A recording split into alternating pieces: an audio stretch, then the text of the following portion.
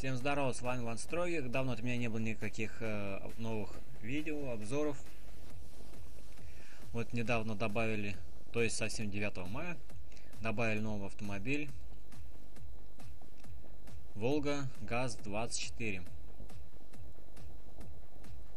Ну, автомобиль такие очень шикарно выглядит. Стандартные характеристики автомобиля составляют максимальная мощность 100 лошадиных сил, максимальный крутящий момент 130 ньютон на метр и вес 1320 килограмм. А, на прокачку автомобиля а, вы потратите 221 тысячу рублей и 180 баксов. Вся фишка заключается в автомобиле... А, стоимость автомобиля составляет 69 баксов. То есть очень хорошее число.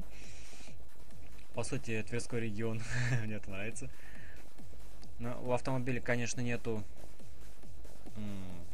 Сейчас, момент. Нет обвеса. Ну, в принципе, он-то не нужен, он уже в стоке имеется. Также имеется в стоке э, каркас безопасности и ковши. Ну, диски я поставил уже, это хорошо. Максималь... Максимальные характеристики автомобиля составляют максимальная мощность 673 лошадиные силы, максимальный крутящий момент 767 ньютон на метр и вес 1056 килограмм. Что самое удивительное, Волк такие ни хреново вваливает уже на экономной характер... на экономной прокачке это двиг... Э, сейчас 3, 2, 2, 0, 2. То есть за баксы ставим только двигатель максимальный, больше ничего. Так, сейчас, что-то я дважды сделал. Хорошо автомобиль также валит на четвертой передаче. Сразу ставим ее.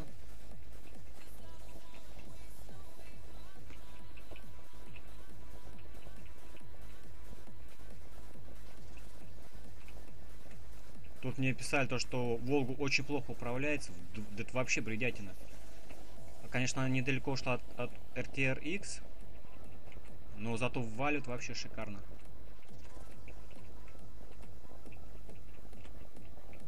Ну даже я своими кривыми пальцами как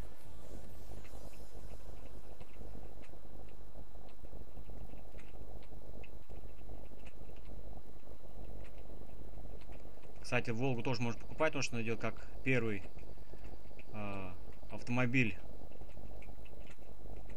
э, компании ГАЗ, автомобильной компании ГАЗ.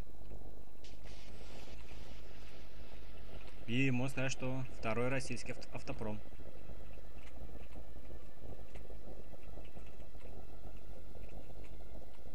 Ну, поскромнее сейчас набрал. В предыдущий раз я набрал 30 э, тысяч.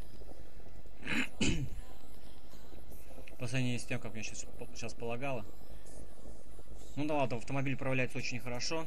Я бы не сказал, что он плохой.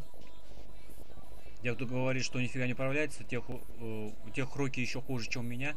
И растут, видимо, не то, что из жопы, а еще ниже пяток даже там где-нибудь. Или ногами, даже ногами управляют. Так что на автомобиль может даже особо не разоряться. Если поставить только фуловый двигатель, э, все остальное за рубли, даже с весом не надо напрягаться, он уже хорошо валит на второй передаче. Если поставить э, трансмиссию третьего уровня, то есть э, фуловый двигатель и фуловый коробка передач, то автомобиль уже хорошо тянет на третьей передаче, только при этом нужно третьей передаче поставить плюс 50. Так автомобиль валит и на четвертой передаче, если фуловый, и чуть-чуть подтягивают на пятой передаче. Посмотрим сейчас, как я проеду.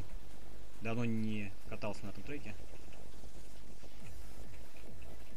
Ну да, не. Нужно поднастроить КПП.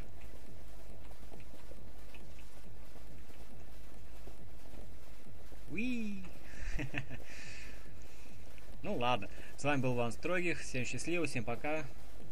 Э, жду вас комментарии, ставьте палец вверх. Скоро будет новый обзор. Пока.